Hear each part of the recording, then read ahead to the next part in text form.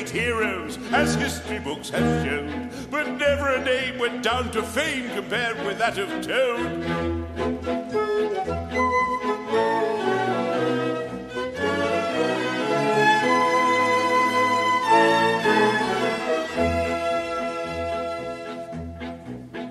The clever men at Oxford know all that's to be known, but none of them know half as much as intelligent Mr. Toad.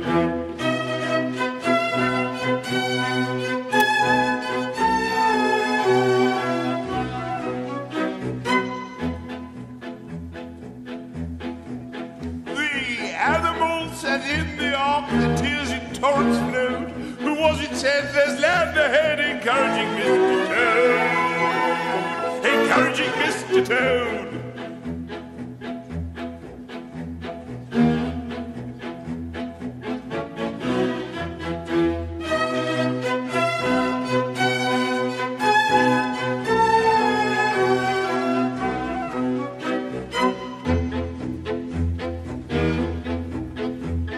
The queen and all her ladies, they by the window sewed. She cried, Look who's that handsome man? They answered, Mr. Toad.